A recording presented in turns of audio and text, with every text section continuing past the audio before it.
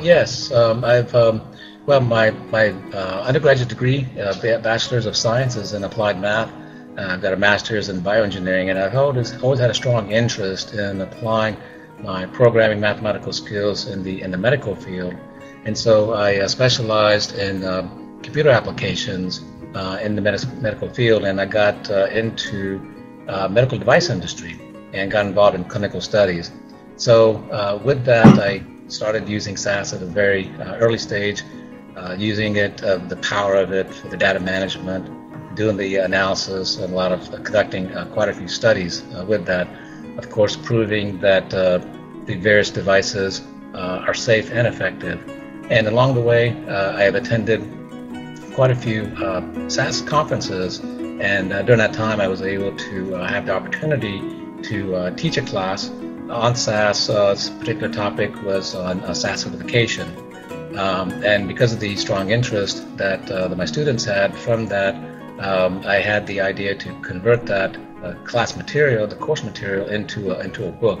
And at that time, uh, there was no uh, resource available to help uh, guide or prepare students to prepare for the SAS certification exam. So I kind of uh, put that together to help myself prepare for the certification exam and use that to, to pass the exam. So I was very uh, happy to have that as being one of my books. And another book that I wrote had to do with ODS. And again, this was based off of a class that, that I taught at the uh, Western Users SAS, SAS, conference. That one of the first ones that I attended was uh, 1994, and I've been a regular uh, attendee of that. So uh, I uh, submitted a, a, proposal, and uh, that was also that was published by SAS Institute called Quick Results with the Output Delivery System.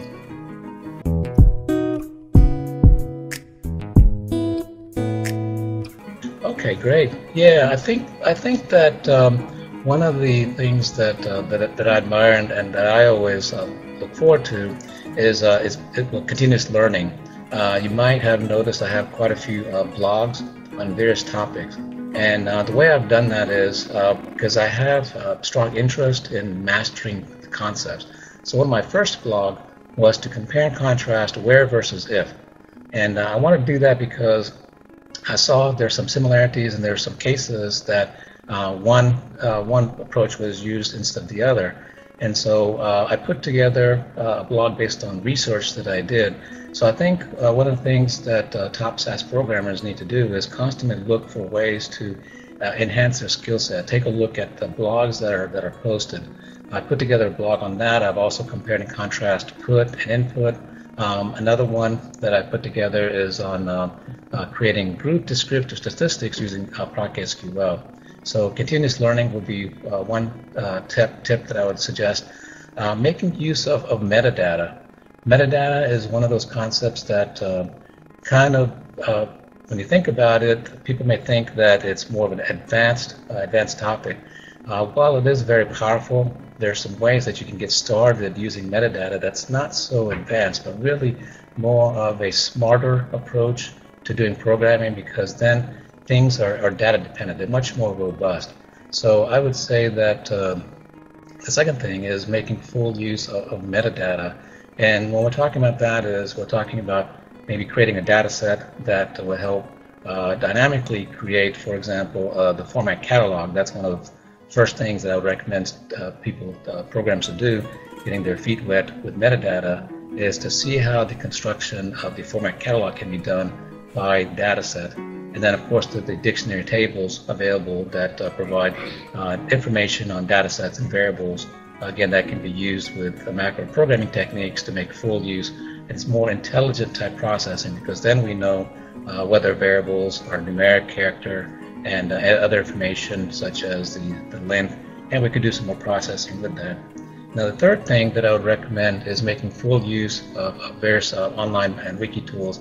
Uh, for example, uh, taking uh, full advantage of features such as uh, you know, training that's being provided, any webinars, and any any wiki tools. I've put together a website which I use regularly as a, as a consultant um, and uh, which is uh, sassavvy.com. And basically, it's a great uh, resource. Uh, there's quite a few uh, people who are members of it, and uh, you want to be able to utilize a lot of the resources that are available, whether it's from SAS's, SAS's page or uh, uh, website, where you have access information to um, various conferences, because there's a, a tremendous amount of, of code uh, that's that's available and tips and, and summarized information. And what I've done is uh, just like um, notes, uh, people are very familiar with notes where you have a collection of bookmarks, you know, favorite bookmarks where you can get a lot of useful information. I've consolidated that into this kind of wiki tool where I can actually look up information. Uh, there's a keyword search feature in there, so instead of the traditional top-down approach uh, where people will go through the Google, I can go into uh, SAS Savvy, for example, and type in my keyword, and from there I'll have organized information on um, if on the topic that I want, any type of troubleshooting. So it makes me much more productive. So I would say those are the three things that I would recommend uh, programmers to uh, to work on to advance in their career, become top programmers.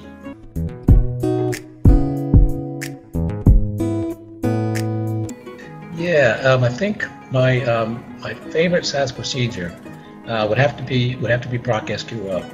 Uh, initially, when I started off uh, working with SAS, uh, I got very familiar with a lot of the procedures, and in fact, uh, one of them uh, I actually wrote the code uh, to do, and then I realized, oh, there's a procedure for that, which is a proc transpose. So I got some nice insight information as to the backgrounds to proc transpose, but then I soon, soon realized after that that ProcSQL is really one of those procedures that stands above uh, practically any other procedure. And that's mainly because ProcSQL is the only procedure that is closest to the power of the data step. Everybody knows that the data step is uh, something that uh, you can write any type of logic and you have the full power of SAS. Outside of the data step, ProcSQL is is that is that procedure where you can um, combine data sets together. You can do simple queries. You can put filters. And uh, it's the ProcSQL, uh, one of the blogs that I wrote on that, um, is uh, something that also gave a presentation at SAS conferences, which is to dynamically create group descriptive statistics. Now, this was something that I was uh, doing outside of ProcSQL, and it took several steps to do it, uh, several data steps, several procedures, and I thought there must be a better way. And I knew a little bit about ProcSQL, but I was really pushing ProcSQL to, to the limit when I wanted it to do several things, multitasking. So I just did some experimenting, and I was really uh, amazed to find out that in one simple one simple pass, one simple procedure uh, using ProcSQL, I was able to basically uh, replicate what I was doing with data steps and procedures that took maybe four steps. And to me, that really shows the, the full power, the full flexibility the ProcSQL has. So I would say that would be uh, one of my uh, favorite uh, procedures.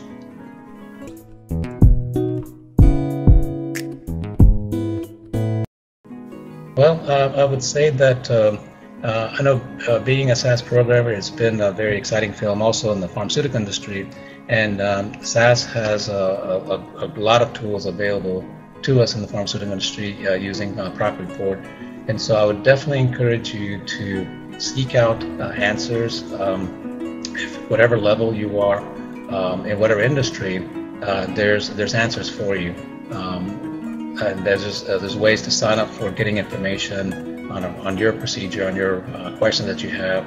So take advantage of signing up for these things, and that way you can kind of progress and then um, I think as uh, you'll find, if you haven't had a chance to attend any SAS conference, you definitely want to do that. You can do that at a very local level and then regional, and then maybe going up to international. In addition, there's SAS conferences for your particular industry, and that really focuses on that particular niche. So, for example, I would go to pharmaceutical industry, uh, the PharmaSUG, uh, but there are others, uh, for example, the insurance. Uh, so you may want to take a look at that, and these are fantastic opportunities for you to, you know, for example, take your code, uh, take any challenges that you have, uh, talk with experts, talk with uh, SAS Institute employees. Uh, they're more than willing to uh, listen and help you and, uh, you know, solve the technical problems that we encounter.